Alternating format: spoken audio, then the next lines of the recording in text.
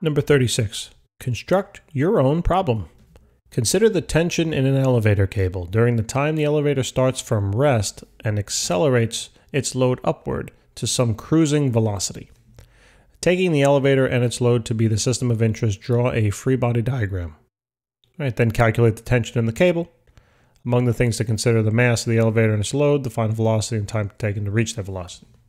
So here's a little here's a little problem. Okay, I have a an elevator here. It let's just say has a mass of 800 kilograms in total with all the occupants and uh, the the elevator itself.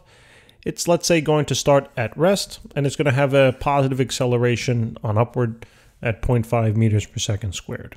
All right, so let's let's do a couple of things. I'll frame a couple of problems uh, given this information, and we'll just solve it quickly. Okay.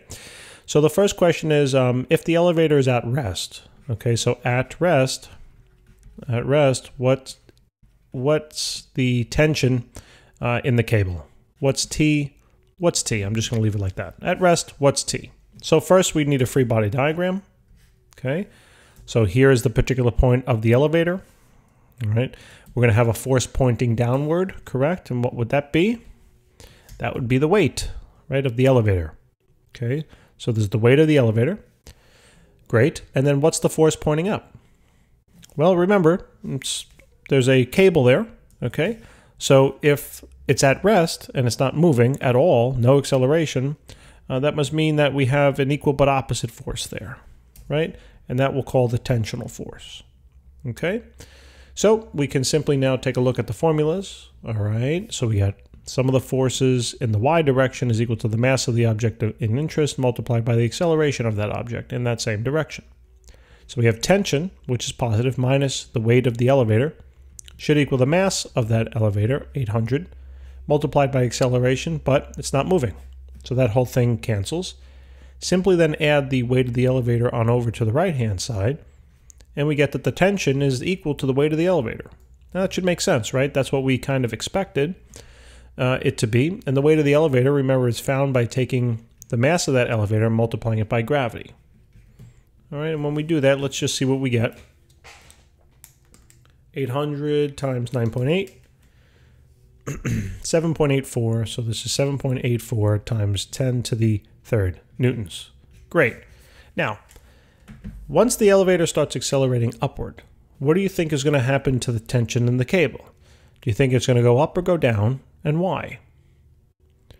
All right, so think about that and let me know, well, let yourself know uh, how you did. All right, so let's now take a look at when it's accelerating. So let's draw now a free body diagram. Uh, actually, first let me say, um, let me say when A is equal to 0.5 meters per second squared, what's T? The tension in the cable now. Okay, so again, free body diagram. Okay, what's the um, what's the force pointing downward? Well, it's always just the mass of the object. Excuse me, it's the weight of the object, not the mass. Okay, it's the weight of the elevator. And then we're going to be met by some tension, right? There's going to be some tension in the rope pulling it up. We don't know what it is at the moment, so let's just call it T. But now we do know that there is an acceleration of this elevator on upward. Okay, and that acceleration is equal to 0.5 meters per second squared. Great. Now let's frame our uh, our our force problem. Okay, so sum of the forces in the y direction will equal the mass of the object in question multiplied by the acceleration of that object in that direction. So, what are the forces in the y? So we got a positive tension minus the weight of the elevator is equal to the mass of that elevator, which is 800 kilograms. Now we have an acceleration, so it's 0.5. Okay, so uh, why don't we...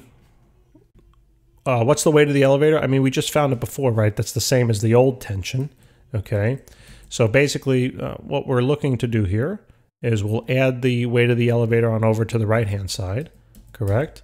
So that we'll have tension is equal to 800 times 0.5, right? Then plus the weight of the elevator, which was 7.84 times 10 to the third. And now the new tension would be, and notice we're actually adding the old the weight to it, right? So it's actually going to be going up. So those of you who thought it might be going up were correct. And the math works out to be here 8.4. So we got 8.24, uh, right? 8.24. 8.24 times 10 to the third. And that's in terms of newtons. So the tension did go up. And that should make sense, right? If you're trying to accelerate the object on upward, it's like you're pulling even harder, right on the elevator. The, the chain is pulling even harder. The cable's pulling even harder. And therefore the tension in that cable should be going up, right? So that kind of makes sense. Now I can ask you anything I want as far as, uh, you know, velocities, final velocities, times, this and that. Um, it depends on what how I want to frame the question. So let me now ask, um, I don't know, why don't we say what's what's the final velocity after a 10 second ride? Okay, so what do we know? We know the elevator is starting out initially. We know the acceleration of the elevator is 0.5, right? Um, what else do we know? Um, we know the time now, right? I said 10 seconds. We don't know the final velocity, and we don't know the distance it would it would cover. So we have to think of a formula that relates these uh, four things together. And if you remember back to the prior chapter, chapter 3, we have the final velocity equaling the initial velocity plus the acceleration times time.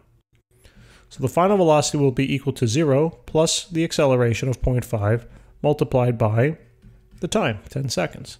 So the final velocity here would be uh, 5, right? 5.0 if we want, whatever, meters per second. That's the final velocity. Easy peasy, all right?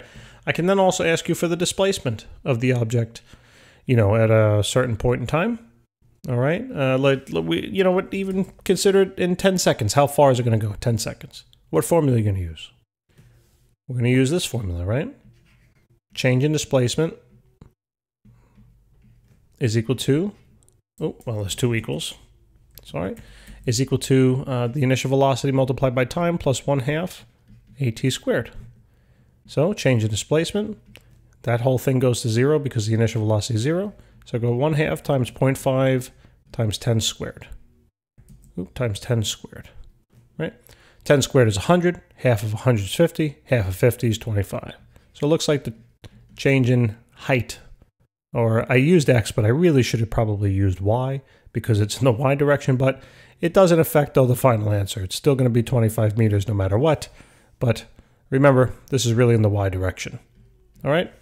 All right, guys, and then you can ask a, couple other questions, but let's let's move on to another problem. All right. So thanks for joining me. I look forward to seeing you in the next video, and uh, please remember to subscribe. Thank you so much.